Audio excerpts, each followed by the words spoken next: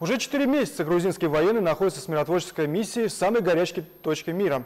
В Афганистане они контролируют одну из баз близ Кабула. Поддержать грузинских военных и ознакомиться с условиями их службы в Афганистан отправилась парламентская делегация.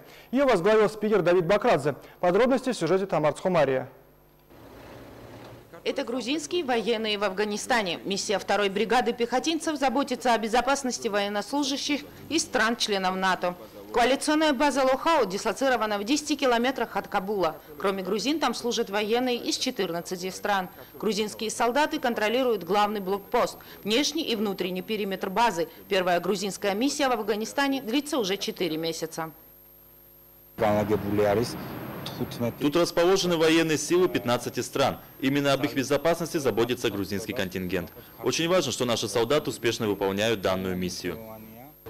В самую горячую точку мира председатель высшего законодательного органа Грузии направился вместе с представителями парламентского большинства и оппозиции. Они осмотрели базу и лично ознакомились с маршрутом, по которому ежедневно следуют грузинские военные.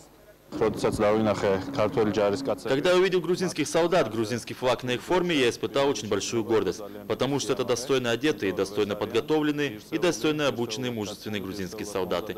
Это хорошо подготовленные, дисциплинированные солдаты, которые защищают Грузию за ее пределами. Наши парни находятся тут, рискуя своей жизнью, они служат интересам Грузии и стараются представить свою страну на международной арене. Думаю, это самое важное.